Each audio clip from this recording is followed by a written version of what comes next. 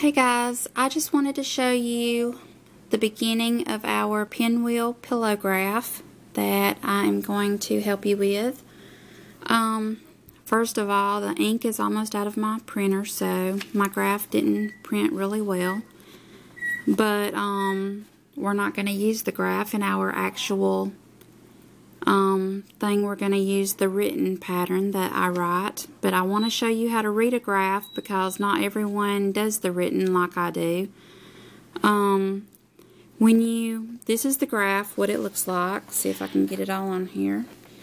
Um, our pattern is 55 wide. This is the width. And it's also 55 tall. So it's 55 square. And you can make a pillow or it can be a wall hanging. Or some people like to use these. Um, we call them quilt blocks or Tammy, she likes to call them crow quilts, and I believe that's what Michelle calls them also. Um, they're really good for all kinds of things. They come around this size. We do them in several different sizes, but you can crochet them together and make several different things. Um, this is the pinwheel. What we're going to do, this is three colors that I have chosen. You can do any color that you like.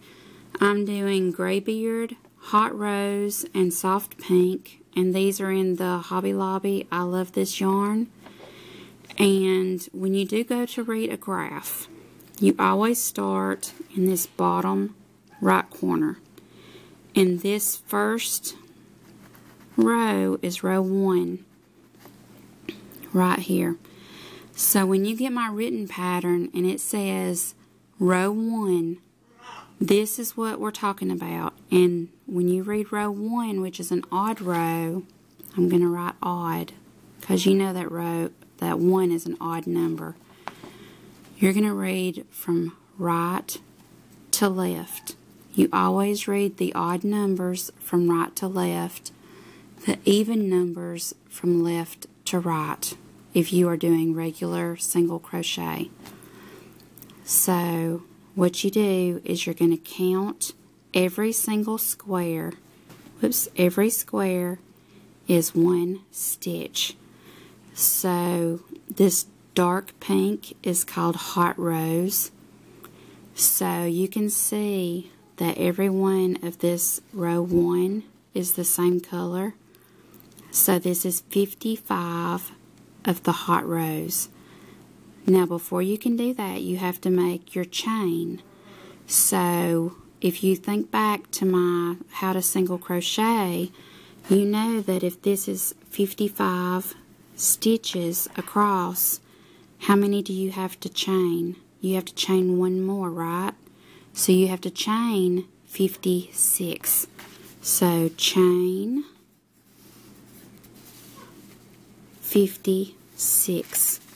Okay, so you're going to chain 56 in this hot rose because it's going to be your beginning color that you're going to start single crocheting in.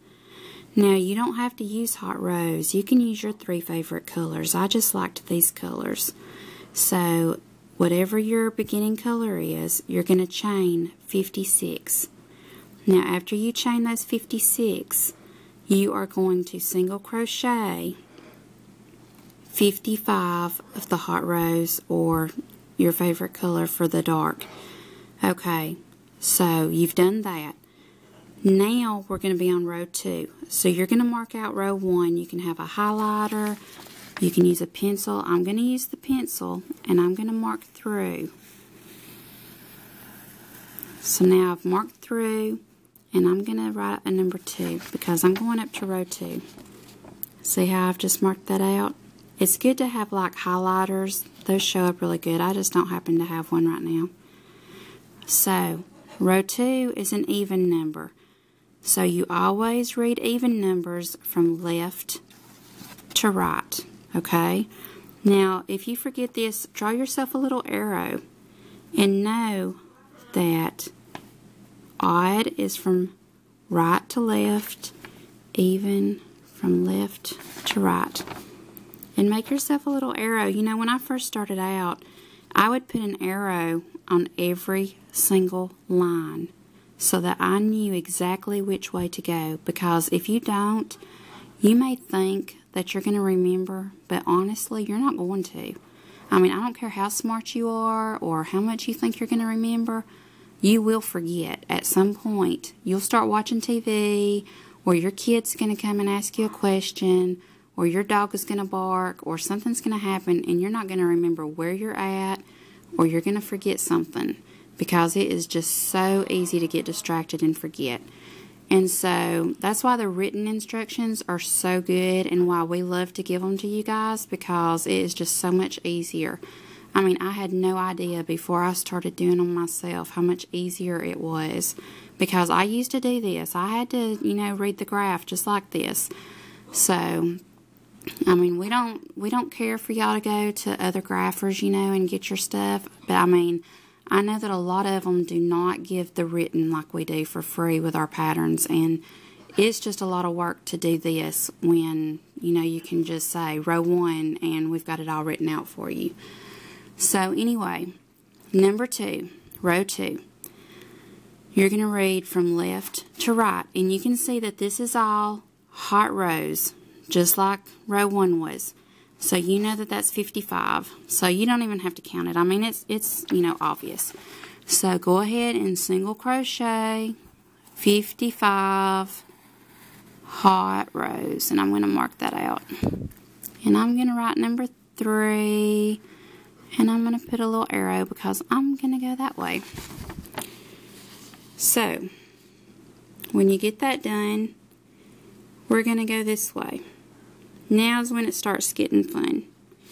So now we're on row three and we've got some color changes coming up. So now we only have two hot rose. So you're going to go, you're going to crochet two hot rose and then I'm going to put a little two right there.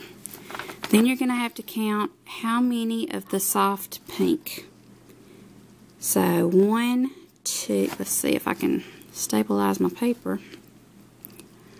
One, two, three, four, five, six, seven, eight, nine, ten, eleven, twelve, thirteen, fourteen, fifteen, sixteen, seventeen, eighteen, nineteen, twenty, twenty-one, twenty-two, twenty-three, twenty-four, twenty-five, twenty-six, twenty-seven, twenty-eight, twenty-nine, thirty, thirty-one, thirty-two, thirty-three, thirty-four.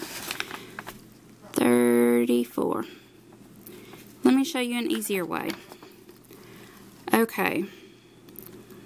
I don't know if you can see in the camera. Do you see these dark lines? Each one of those have 10 in between.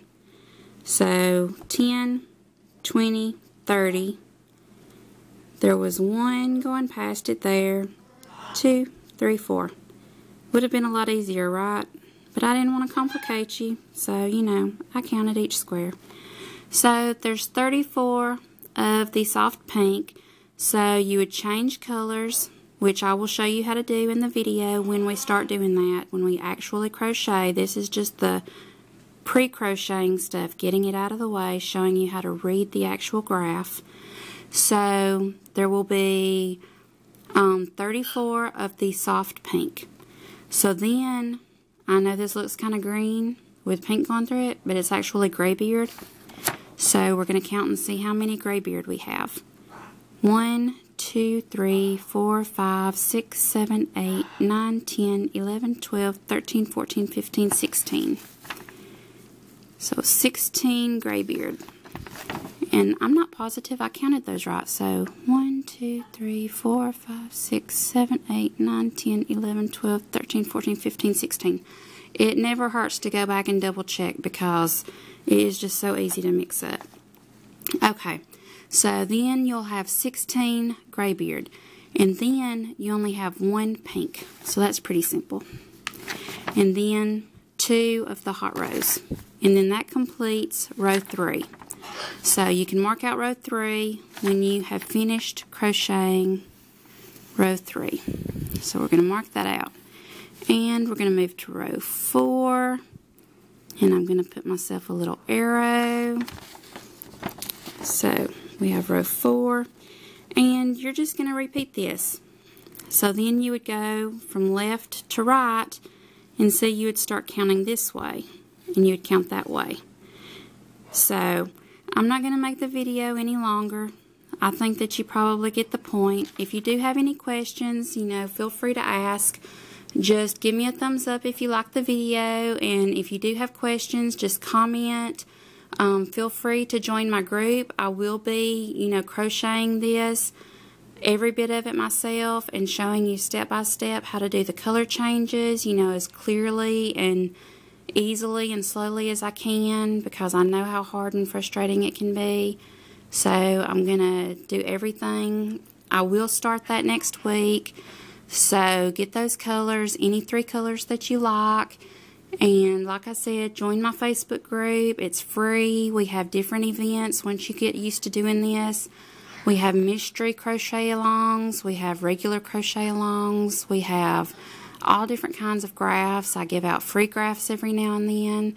Um, there's tons of people in there to answer questions. I'm in there all the time. I answer questions. Um, there's Michelle from um, Cuddly Creations. She's in there, and she um, she also does graphs. And then Tammy Del Guzzo, she does graphs. Um, we just have a great bunch of folks in there, so feel free to come and visit us and have a great day. Thank you.